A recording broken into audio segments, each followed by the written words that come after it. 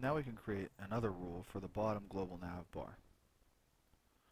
Again, select Tools, CSS Editor. Again, uncheck Expert Mode and select Rule. This is going to be another class rule, and we're going to call this one Bottom Global, except we're going to abbreviate and put in BTM and then NAV for navbar. Create style sheet.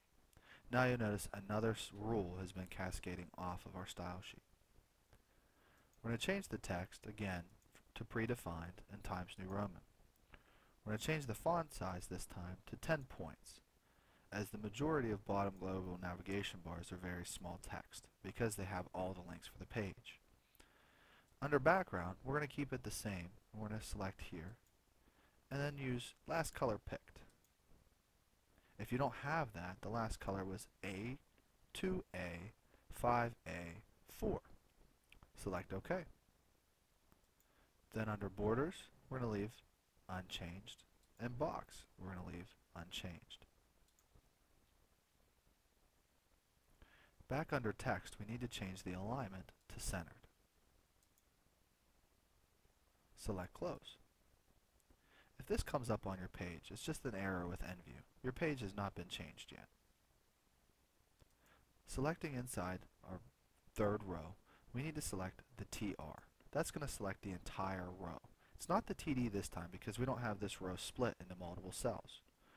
Then coming up to our navigation bar, select BTM Nav.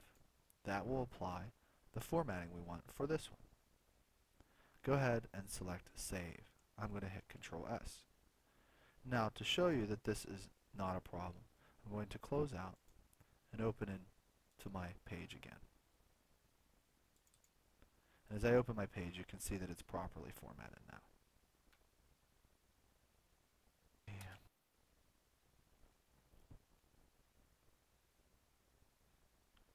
Now we're going to create another CSS rule called banner. Select Tools, CSS Editor, uncheck Expert Mode, and select Rule. We're going to call this rule Banner. Then select Create Style Rule. You'll notice here another rule has been cascaded down. The only thing we need to change with this one is the background color. We're going to put this as the crimson that IUP uses. Select here, come down, and we're going to put in the hexadecimal code. The crimson color is pound sign 9E1B32. Select OK. Select Close.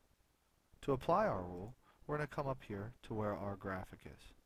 We're going to select the TR tag, which is going to be the entire row. Again, noting the graphics glitch over here with Nvu, this does not have anything to do with our page. Everything will be fine. Then come up here to select formatting and we're going to select banner. Now you'll notice that we have our crimson color.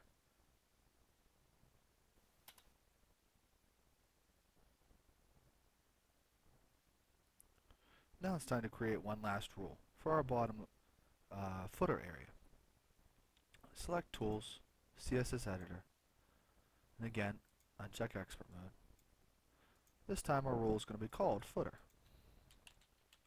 and It is again a class rule.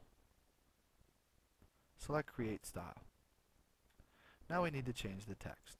Again, our text is going to be predefined, Times New Roman.